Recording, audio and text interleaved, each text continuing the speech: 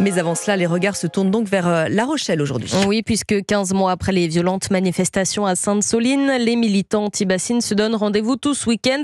Et après un premier acte hier près de Poitiers, marqué par ce face-à-face entre 3000 policiers et gendarmes et autant de militants, dont près de 500 Black Blocs et une centaine d'individus fichés S, rebelote aujourd'hui. Bonjour Charles Lhuillier. Bonjour Alban, bonjour à tous. Vous êtes à La Rochelle pour suivre cette nouvelle journée de mobilisation pour Europe 1. C'est là que malgré l'interdiction préfectorale, le rendez-vous est donné euh, en fin de matinée. Oui, effectivement, ici, les quelques 6 à 8 000 manifestants ont prévu de bloquer le port.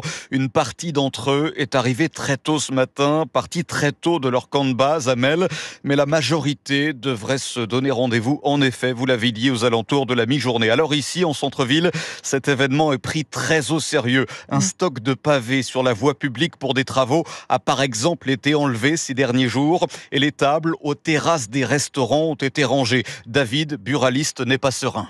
Bah, je pense qu'à La Rochelle, euh, qu'il n'y a pas besoin de manifestations. Bon, bah, on espère qu'ils casseront pas de vitrines ou que, voilà, ils n'iront pas embêter les commerçants.